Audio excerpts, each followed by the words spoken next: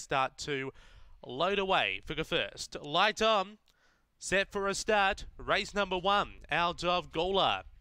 Set away. Crown Susie began well towards the inside, is going to boot up and find a front early and lead by two on Bella Rocks. Then we go back to Wooden Tiger and four lengths away then Crown Sally at the tail. Out of the straight and Crown Susie just left for rail is only on top by a half length on Bella Rocks. Looming up sharply Wooden Tiger and a gap of about eight lengths then to Crown Sally. Midway between turns down the back and it's Crown Susie on top only by a half length. Bella Rocks now railing through.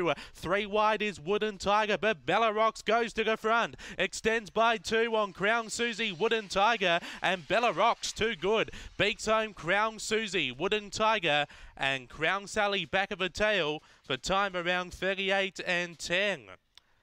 Number five, too good. Bella Rocks for Clint Trengove gets up for the win. 5184 should be your numbers.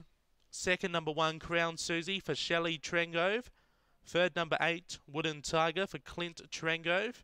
And fourth, number four, Crown Sally, also for Clint. So a family affair there after race one, 5184.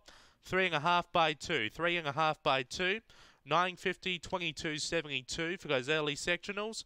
38.15 for time and a run home in 15.43. 5184, 5184 after race number one here at Gawler.